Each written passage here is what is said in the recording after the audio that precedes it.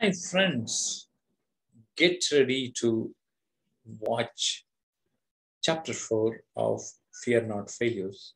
In fact, the title of the chapter 4 is also Fear Not Failures. Uh, we begin this section with a verse written by K.C. Shivappa, whose pen name is Muddurama.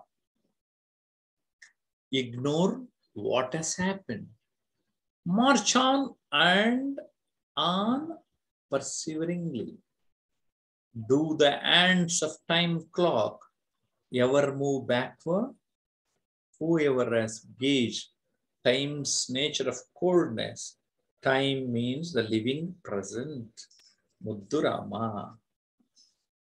Browbeat failure and stand with the head held high. Birth of a human being entails a suffering and sorrow. One has to face the ups and downs of life. They are unavoidable. What one has to do is cultivate equanimity to train the mind not to be depressed by defeat, not to be elated with success. Secondly, one has to set for himself a goal to be achieved in life. Then, whatever we think or do will be to achieve that goal. Were we to examine the story of many almighty men of the past, we realize that every one of them suffered defeats at one time or the other in their lives. There may be defeats in their professional or in their family life or in their commitment to society. We also notice that those mighty men were not cowed down by defeat, but converted those defeats into stepping stones to success.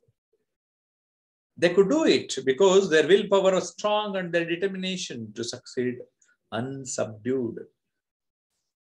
It is truism to say that all of us are not equally endowed in talents, intelligence, or faculties. But every one of us is obliged to bear some responsibilities either for subsistence or for progress. It would be unwise to expect immediate success in any endeavor which we may undertake. We may fail, but that failure should open our eyes to recognize why we failed. That introspection makes us change our plan or our approach.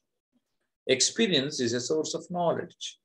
When our knowledge improves, the chances of our success are greater. Here are a few lines of poetry written by a versatile IAS officer, Siddayya Puranik, whose nom de plume was Kavyananda. The lines buttress one's strength and determination. He who ventures into fragrant screw, pine or sandal grouse shouldn't be afraid of poisonous serpents. He who longs to acquire pearls, pearls and oysters runs the risk of attack of sea animals. He who dares to collect honey from honeycombs should be ready for the bee's sting. To savor life's beauty and sweetness, you have got to endure the ugliness and the bitterness of life. A systematic and steady cultivation of inner strength and perfect confidence generates the power of surmount all difficulties, even defeats. Napoleon's statement that the word impossible finds its presence only in a covered dictionary deserves to be etched in letters of gold. He who wishes to live a good and exciting life should know how to get, get out of complex conditions and have the courage to carve a path for himself. Okay? After extricating himself from twists. As Sanskrit adage says, Dhairyam Sarvatra Sadayet. It means it is courage and courage alone that enables you to achieve everything. A Kannada poet gives this clarion call, Nade munde, nade munde, nuggi nade munde. It means march ahead and ahead and search to the fore. Besides courage, one should practice forgetting the unwholesome events of one's life.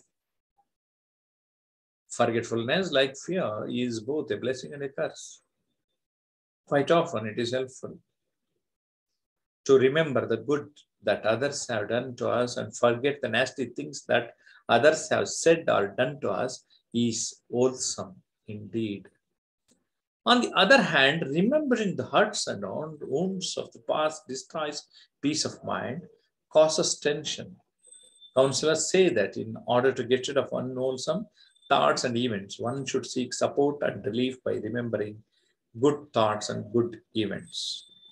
A poet pulls it, puts it beautiful, beautifully when he says, I have a grand memory for forgetting. Another poet expresses it aptly when he says, Better by far you should forget and smile than that you remember and be sad. Counselors have said, in addition to forgetting the bad of the past and remembering the good, a person should learn to work with others. Good company is good not only for turning out good work, but it is also helpful in generating thoughts of mutual help and cooperation. Get rid of fears. Fear indicates clearly that one lacks self confidence. It is a contagious mental aberration.